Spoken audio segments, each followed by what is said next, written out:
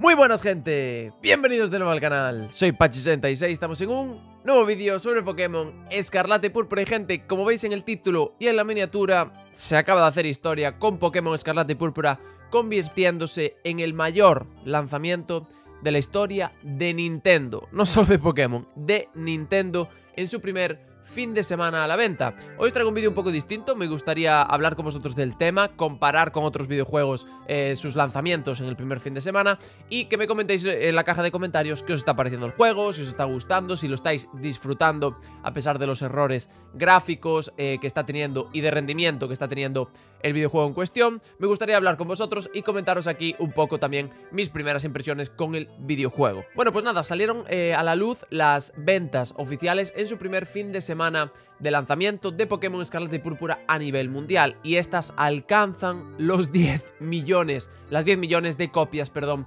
vendidas en el primer fin de semana del estreno del videojuego y esto lo convierte en el mayor lanzamiento de la historia de Nintendo, eh, pues de toda su historia, de todos los videojuegos de Nintendo que os podáis imaginar, espectaculares obras maestras que vendieron millones y millones de copias, ninguno vendió tanto en su primer fin de semana de lanzamiento como Pokémon Escarlata y Púrpura. Y eh, no sé qué pensáis vosotros, pero eh, a mí esto me parece una muy buena noticia, ya que Nintendo y Pokémon siguen a la altura en cuanto a ventas y en cuanto a popularidad se refiere eh, entre los usuarios, aún viendo cómo salió el juego, porque sí, hay que ser sinceros, el juego no salió eh, acabado perfecto, tiene bugs, tiene, tiene fallos gráficos, tiene problemas de rendimiento, pero quitando todos esos peros, quitando todas esas, todas esas contras, el juego es una maravilla, gente. El juego, para mí, es... Es que no, sé si ponerlo ya top 1 o, top 5 o top 3, pero es que se cuela entre top 3 mínimo, top 5 o top 3 mínimo de mis videojuegos favoritos de Pokémon.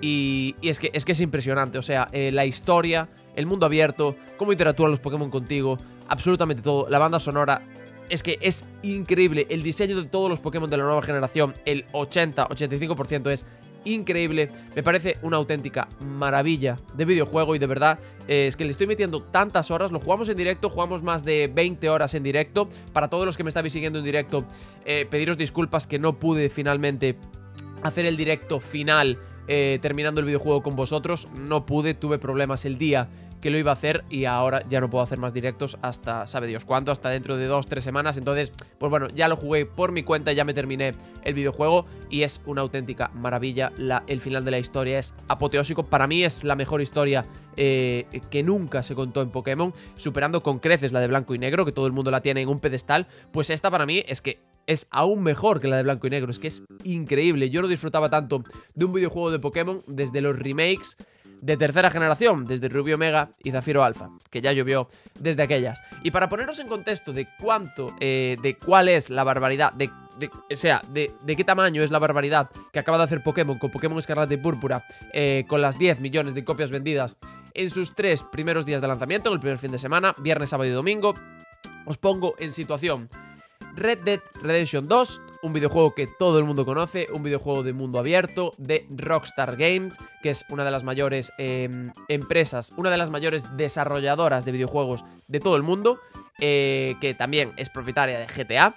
Red Dead Redemption 2, que es una de las obras maestras eh, en cuanto a videojuegos se refiere, es increíble, es de los mejores videojuegos de la historia. Eh, yo lo jugué también, es increíble pues en su primer fin de semana de lanzamiento vendió más o menos sobre 12 12 millones de copias el Red Dead Redemption 2, que se convirtió en el producto de entretenimiento que más dinero recaudó en su primer fin de semana de toda la historia, poniendo películas, poniendo absolutamente todo. Red Dead Redemption 2 vendió 12 millones de copias.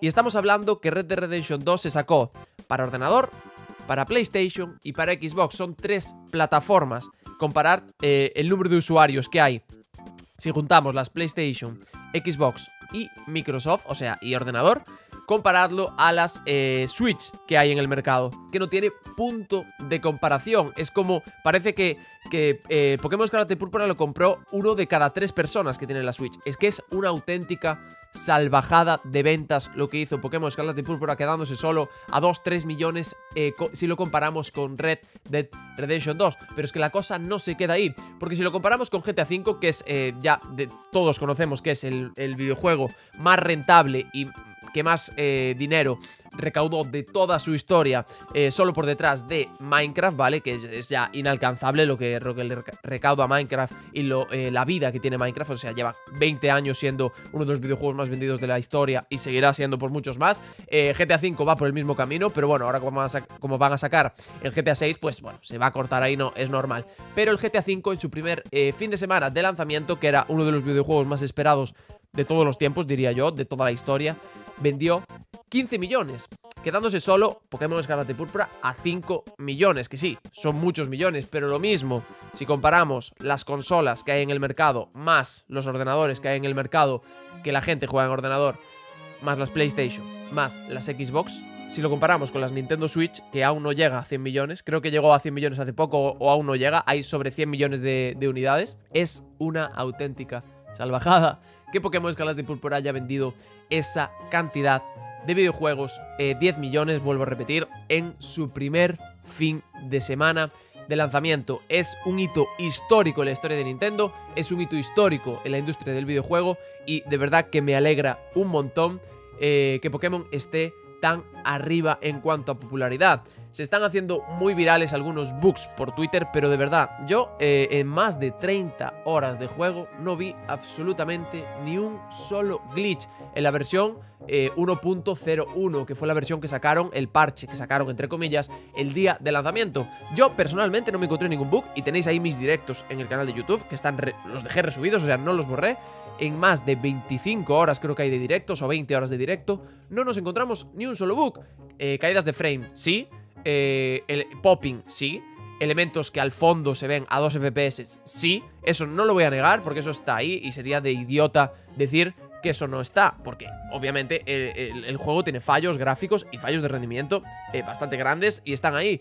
Pero bajo mi punto de vista, no sé si porque soy un puto fanboy de Nintendo, un puto fanboy de Pokémon y me encanta la saga y estoy enamorado de ella, eh, a mí no me arruinó la experiencia de juego en ningún momento.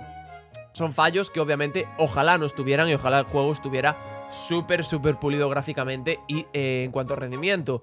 Ojalá fuera un, Zelda Breath of the Wild en cuanto a rendimiento, en cuanto a, em, a diseño gráfico y en cuanto a cómo se ve el mundo y cómo interactúa el mundo contigo, eh, en cómo se ve de bonito Zelda Breath of the Wild comparado a Pokémon Escarlata y Púrpura. Ojalá, pero es que esto es lo que hay, chicos. O lo, tomas o lo dejas. ¿Qué vamos a hacer? ¿Dejar de comprar Pokémon? No, no va a pasar eso. O sea, la gente que dice, hay que no comprar Pokémon para que se den cuenta de lo que, que los usuarios queremos más calidad, eso no va a pasar. O sea, quitároslo de la cabeza porque eso no va a pasar. Y a la vista está.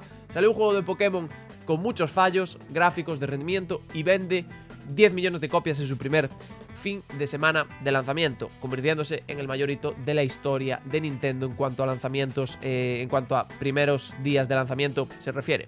Así que esto es lo que hay, gente. Me, apetecía traeros esta noticia para compararla también con otros videojuegos que salieron eh, muy exitosos en su primer fin de semana y comparar la, locura, la bestialidad que hizo eh, Nintendo y Pokémon con Pokémon Escarlata y Púrpura en el primer fin de semana, quedándose solo a 3 y 5 millones de copias de Red Dead Redemption 2 y de GTA V respectivamente es una auténtica barbaridad, una auténtica bestialidad que yo aún me, está costando de procesar. Así que nada, gente, me encantará leeros en los comentarios qué pensáis, qué opináis acerca de esto, eh, si os parece bien, si os parece mal, si pensáis que debería vender menos, más Pokémon, no sé, yo creo que eh, si vende tanto es por algo y en cuanto... Eh, y si Pokémon sigue esta línea y sigue eh, mejorando sus videojuegos, eh, en cuanto, sobre todo gráficamente y en cuanto a rendimiento, porque yo creo que desde Espada y Escudo a Leyendas Arceus hubo un salto bastante grande en cuanto a calidad.